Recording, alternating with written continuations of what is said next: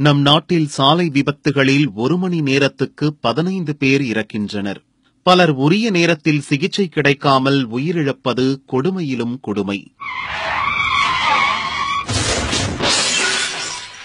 காரணம் என்ன? விபத்தில் சிக்குபவர்களுக்கு உதவ பெரும்பாலானோர் முன்வருவதில்லை. சட்டத்தின் மீதும் போலீஸ் மீதும் பயம். அந்த பயத்தை போக்க கொண்டுவரப்பட்டதுதான் குட் சமரிட்டன் லா. இந்த குட் சமரிட்டன் ஆக்ட் வந்து இட்ஸ் சென்ட்ரல் கவர்மெண்ட் ஆக்ட் வந்து டூ தௌசண்ட் ஃபோர்டீன்ல வந்து இந்த ஆக்டை கொண்டு வந்தாங்க. இந்த சட்டத்தின்படி குட் சாமரிட்டன் யாருன்னு கே- யாருன்னா ஒரு ஆக்ஷன் விக்டிமோ அல்லது ஆக்சிடென்ட்ல வந்து காயமுற்றவர்கள் அல்லது எனி கிரைம்ஸ் உதாரணமாக rape victims attempt to rape attempt to murder even murder இதை நேரில் பார்த்தாலோ அல்லது அந்த பார்க்கக்கூடிய சந்தர்ப்ப சூழ்நிலையில் இருந்தாலோ இந்த குட் சாமரிட்டான் வந்து அவங்களுக்கு ஹெல்ப் பண்ணி ஹாஸ்பிட்டலில் அட்மிட் பண்ணுறது போலீஸ் ஸ்டேஷனில் தகவல் சொல்கிறது இந்த மாதிரி செய்வர்கள் தான் வந்து குட் சமரிட்டான் இந்த குட் சமரிட்டான்ஸ்க்கு அந்த லாலியே ப்ரொடெக்ஷன் இருக்குது அவங்க பேரை கூட சொல்ல வேண்டியதில்லை. உதாரணமாக ஒரு ஆக்ஷன் விக்டிம் இப்போ வந்து அடிபட்டு ரோட்டில் இருக்கிறாருன்னு சொன்னால் அவர் ஹாஸ்பிட்டலில் எடுத்துகிட்டு போய் அந்த ஹாஸ்பிட்டலில் அட்மிட் பண்ணார்னா போலீஸ் வந்து அவருடைய பேரை கூட கேட்கக்கூடாது. அவர் பேரை சொல்லணுங்கிற அவசியம் இல்லை. அதே போல் ஹாஸ்பிட்டல்லையும் அவரோட பேரை சொல்ல வேண்டிய அவசியம் இல்லை இந்த குட் சமரிட்டான் அந்த ஹாஸ்பிட்டல் ஃபீஸ் கூட இவர் வந்து கட்ட தேவையில்லை. அந்த ஆக்ஷன் விக்டிம்ஸ்க்கு வந்து எந்த ஹாஸ்பிட்டலும் இந்த மாதிரி ஒரு குட் சாமரிட்டான் வந்து அட்மிட் பண்றாருன்னா ஆக்ஷன் விக்டிம்ஸினுடைய ஹாஸ்பிட்டல் எக்ஸ்பெண்டிச்சர் அதாவது மருத்துவ செலவுகளை அவரிடம் கேட்கக்கூடாது அந்த விக்டிம்ஸோடும் கேட்கக்கூடாது.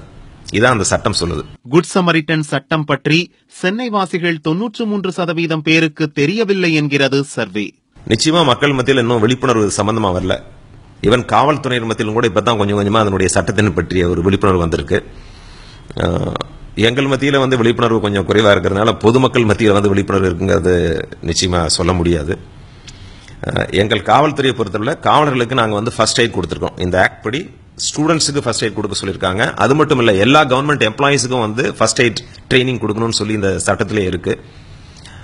அதன் ஒரு பகுதியாக இந்த சட்டத்தை அமல்படுத்துவதற்காக நாங்கள் வந்து ஒவ்வொரு காவலர்களுக்கும் ஃபர்ஸ்ட் எய்ட் ட்ரைனிங் uh, கொடுத்துருக்குறோம். குறிப்பிடும்படியாக சென்னை காவல்துறையில் அனைத்து டிராஃபிக் uh, காவலர்களுக்கும் இந்த முதல் உதவி சிகிச்சை எப்படி பண்ணுறது அப்படிங்கிறத சொல்லி கொடுத்துருக்கோம்.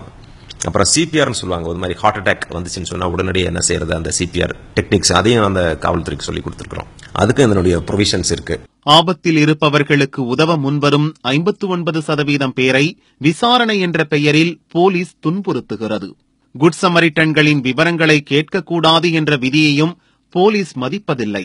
விதி மீறும் போலீஸ் மீது என்ன நடவடிக்கை? இந்த மாதிரி விதிமீறல்கள் நீங்க சொல்ற விதிமீறல்கள் நிச்சயமா வந்து அறியாமையில் அந்த சட்டத்தினுடைய அறியாமை அவர்களுக்கு அதனுடைய காரணமாகத்தான் அவங்க செய்வாங்க. அப்படி ஏதாவது இந்த மாதிரி சம்பவங்கள் நடந்தால் மாவட்ட காவல் கண்காணிப்பாளர் எஸ்பி மாவட்டத்தை பொறுத்தவரை இந்த டிஸ்ட்ரிக்ட் எஸ்பிஸ்க்கு வந்து சொல்லலாம். இப்போ வந்து சென்னை பொறுத்துள்ள அதனுடைய கூடுதல் ஆணையர் அல்லைன்னா துணை ஆணையர் கமிஷனர்கிட்ட சொல்லலாம். இல்லைன்னா ஒரு இமெயில் கொடுக்கலாம் இல்லை நேரடியாக வந்து சொல்லலாம். அப்படியும் முடியலன்னு சொன்னால் நீங்கள் வந்து இந்த அத்தாரிட்டி இந்த ஆக்ட் படி குட் சமர்டன் சட்டப்படி அந்த அத்தாரிட்டிக்கு கடிதம் மூலமாகவோ இமெயில் மூலமாகவோ தகவல் தெரிவித்தால் சம்பந்தப்பட்ட காவல்துறை அதிகாரிகளுக்கு தகவல் தெரிவித்து அறிக்கையை கேட்பார்கள். அந்த மாதிரி ஒரு அறிக்கை ரிப்போர்ட் கேட்குறப்போ நிச்சயமாக வந்து இது மாதிரி சம்பவங்கள் எதிர்காலத்தில் நடக்காது. இது மாதிரி ஹராஸ் பண்ற நபர்கள் மீது முதல்ல வந்து வார்னிங் மெமோ கொடுத்து அவங்களுக்கு படி சட்டப்படி நடவடிக்கை எடுக்கப்படும். குட் சமரிட்டன் சட்டம் தொடர்பான வழிகாட்டி நெறிமுறைகளை தமிழக அரசு வெளியிட்ட போதும் அதை பின்பற்ற யாரும் தயாராக இல்லை. போலீஸ் நிலையங்கள் மருத்துவமனைகளின் வாயிலில் குட் சமரிட்டன் சார்ட்டர்களை ஒட்ட வேண்டும் என்ற விதியை யாரும் கடைபிடிக்காததால் மக்களிடம் விழிப்புணர்வும் இல்லை உயிர் பலி தொடர்கிறது. குட் சமரிட்டன் சட்டம் பற்றி விழிப்புணர்வு ஏற்படுத்த அரசு எடுத்த நடவடிக்கைகள் என்ன? அது வந்து இந்த அஸ்பர் லா வந்து இட்ஸ் மேண்டேட்ரி அது வந்து they've to be trained the students to be trained அதாவது எபோவ் தேர்ட்டீன் மக்கள் பொதுமக்களை மட்டும் காப்பாற்றுவதற்கு இல்லை அவங்களுக்கும் உதவிகரமாக இருக்கும். இது வந்து actually it is capacity building and additional skill development மாதிரி தான் அது.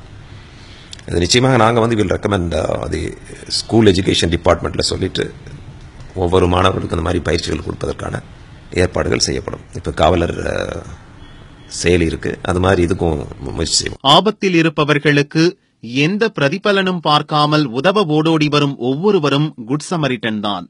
அவர்களுக்கு உயிர்தான் முக்கியம். சட்டம் பற்றி சிந்திக்க மாட்டார்கள். குட் சமரிட்டன்களை பாதுகாத்து மென்மேலும் உற்சாகப்படுத்த வேண்டிய கடமை போலீசுக்கும் டாக்டர்களுக்கும் உண்டு. இனியாவது பொறுப்பை உணர்வார்களா?